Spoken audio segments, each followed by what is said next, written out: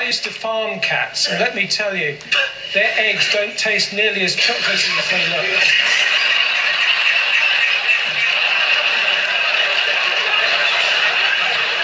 The answer is chickens, nurses.